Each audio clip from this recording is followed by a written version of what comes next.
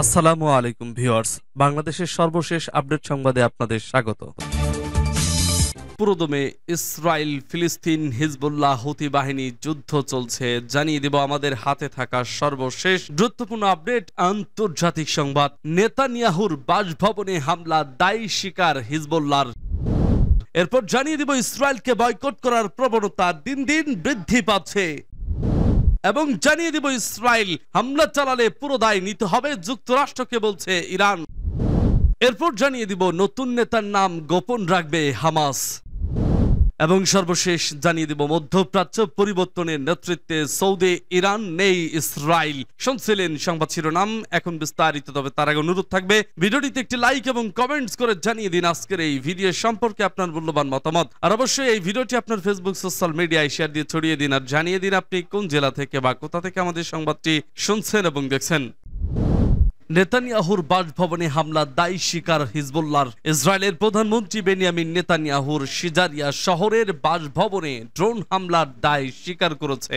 Iran সমর্থিত লেবাননের সশস্ত্র গোষ্ঠী হিজবুল্লাহ মঙ্গলবার এক বিবৃতিতে এই দায় স্বীকার করেছে গোষ্ঠীটি। হিজবুল্লাহর মুখপাত্র মোহাম্মদ আফিফ বলেছেন সিজারিয়ায় নেতানিয়াহুকে লক্ষ্য করে পরিচালিত হামলার পূর্ণাঙ্গ ও একক দায় ঘোষণা করেছে হিজবুল্লাহ। ইসরায়েলি বাহিনীর হাতে হিজবুল্লাহর কিছু সংখ্যক যোদ্ধা ধরা পড়েছেন বলে জানিয়েছেন আফিফ তবে তাদের সংখ্যা জানাননি তিনি। একই সঙ্গে এ যোদ্ধাদের কিছু হলে তার দায় ইসরায়েলকে বহন করতে হবে বলে হুঁশিয়ারি দিয়েছে গোষ্ঠীটি। হিজবুল্লাহর মুখপাত্র সাংবাদিকদের বলেছেন, বর্তমানে শত্রুর হাতে বন্দীদের বিষয়ে আমি বলছি। আমি জানি যে শত্রুপক্ষ যুদ্ধের নৈতিকতা ও আন্তর্জাতিক চুক্তির প্রতি অঙ্গীকারাবদ্ধ নয়। তবে বন্দীদের জীবন রক্ষার দায় শত্রুপক্ষের উপর বর্তাবে। এর আগে গত শনিবার লেবাননের দক্ষিণাঞ্চল থেকে ছোড়া একটি ড্রোন ইসরায়েলের সমুদ্র তীরবর্তী শহর সিজারিয়ায় বেনামিন নেতানিয়াহুর বাসভবনে আঘাত আনে।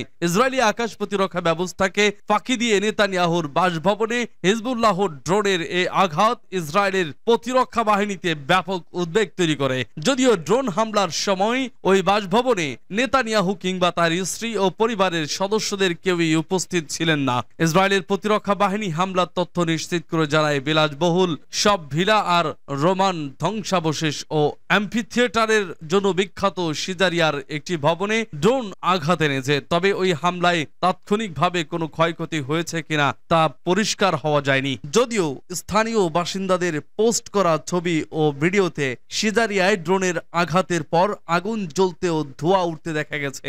আইডিএফ বলেছে, লেবাননের দক্ষিণাঞ্চল থেকে তিনটি ড্রোন ছোড়া হয়েছে।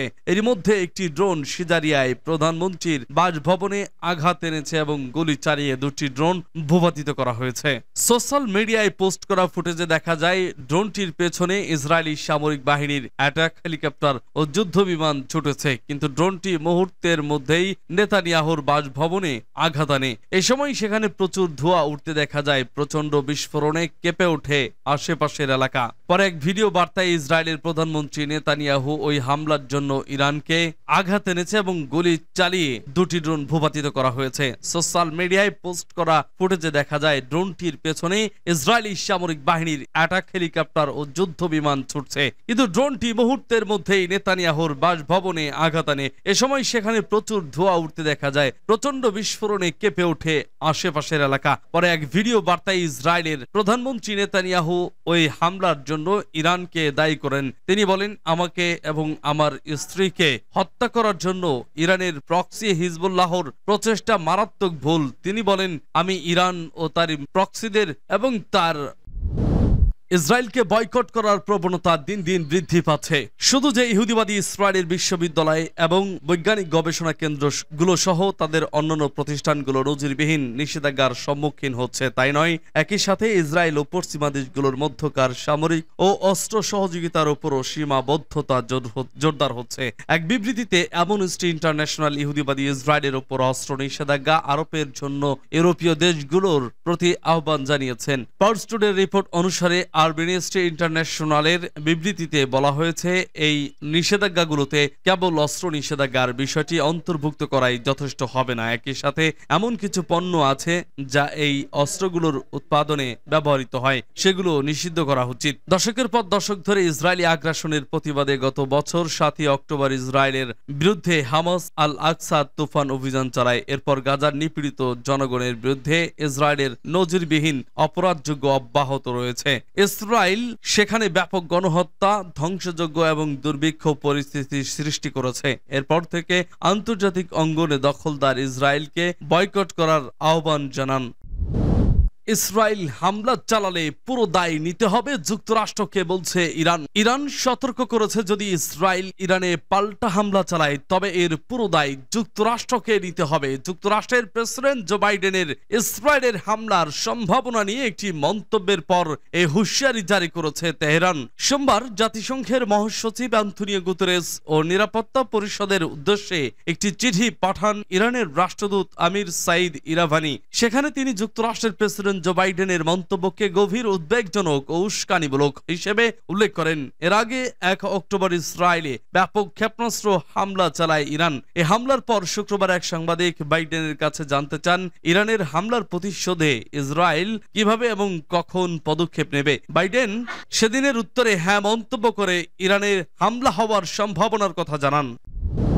ইরাকে শীর্ষ কমান্ডার নিহত। ইরাকি ইসলামী স্টেটের শীর্ষ কমান্ডার নিহত হয়েছেন বলে জানা গেছে। মঙ্গলবার এ খবর জানিয়েছে বার্তা সংস্থা রয়টার্স। ইরাকের প্রধানমন্ত্রী মোহাম্মদ শিয়া আল সুদানি মঙ্গলবার এ খবর জানিয়েছেন বলে উল্লেখ করা হয়েছে রয়টার্সের প্রতিবেদনে। তিনি জানান উত্তর পূর্ব ইরাকের হামরিন পর্বতে এক সামরিক অভিযানে ইসলামিক স্টেটের শীর্ষ কমান্ডার নিহত হয়েছেন। উল্লেখ্য আইএস এর অবস্থান যখন সবচেয়ে ভালো ছিল, গোষ্ঠীটি তখন সিরিয়ার তিন ভাগের এক ভাগ ও ইরাকের চল্লিশ শতাংশ ভূখণ্ড নিয়ন্ত্রণ করত। আন্তর্জাতিক গণমাধ্যমের তথ্য বলছে, যুক্তরাষ্ট্রের নেতৃত্বাধীন সামরিক জোট এবং রাশিয়া ও ইরানের মতো আঞ্চলিক প্রভাবশালী পক্ষগুলোর দুই সালের মার্চে এসে বাঘুজের নিয়ন্ত্রণ হারিয়ে চূড়ান্ত পরাজয়ের মুখে পড়ে গোষ্ঠীটি। বাঘুজের পতনের পর সিরিয়া ও ইরাকের কোনো কোনো ছোট বড় শহর ও অঞ্চলে নিয়ন্ত্রণ ছিল না আইএসের। তবে সম্প্রতি গোষ্ঠীটি আবারও মাথা চাড়া দিয়ে উঠছে বলে ধারণা তাদের। নতুন নেতার নাম গোপন রাখবে হামাস। ইসরায়েলের হামলায় হামাস নেতা ইয়াহিয়া সিনভারের নিহত হওয়ার পর এবার নিরাপত্তার স্বার্থে নতুন নেতার নাম পরিচয় গোপন রাখা হবে বলে বিবিসিকে জানিয়েছে। ফিলিস্তিনের স্বাধীনতাগামী সশস্ত্র গোষ্ঠী হামাস। সৌদি আরবের মালিকানাধীন পত্রিকা আশরাক আল আসওয়াতেও শনিবার এ খবর জানিয়েছে। পত্রিকাটিকে হামাসের কয়েকটি গুরুত্বপূর্ণ ভবিষ্যতে হামাস নেতাদের খুঁজে বের করা এবং তাকে হত্যা করা যাতে ইসরায়েলের পক্ষে সহজ না হয়, সে চেষ্টায় নিয়েছে গোষ্ঠীটি। নাম গোপন থাকলে গাজায় যুদ্ধবিরতি এবং জিম্মি মুক্তি বিষয়ক আলোচনার ক্ষেত্রে কে সিদ্ধান্ত নেবে সেটি নিয়ে ইসরায়েল প্রধান ধাঁধায় পড়বে।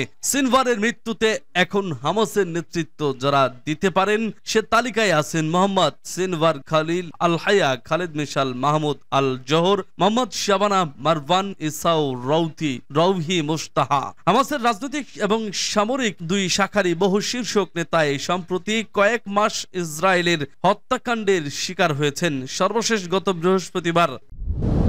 মধ্যপ্রাচ্যে পরিবর্তনের নেতৃত্বে সৌদি, ইরান নেই, ইসরায়েল। ইসরায়েলকে ছাড়াই মধ্যপ্রাচ্যে পরিবর্তনের হাওয়া লেগেছে।